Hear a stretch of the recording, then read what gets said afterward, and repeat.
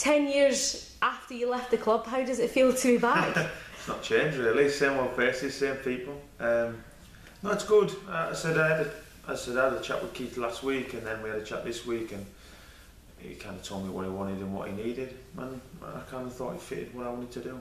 Um, just want to get back in, want to be playing, wanted to do the right decision this time with, with where I went, and I said there were offers around and places to go, but I just felt this was right for me to come back and spoke to Keith, and I think anyone knows Keith, um, you know what he sells you.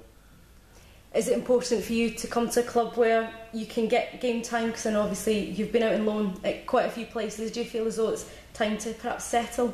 Yeah, I need to play. I need to come back. I've been out with the injury for nearly 11 months, came back strong and fit and was involved and went on loan to Wolves and obviously a bit of game time and nothing much. I just want to play now. I just want to get out, play football and, and enjoy it. I've been waiting to do that for nearly two years now.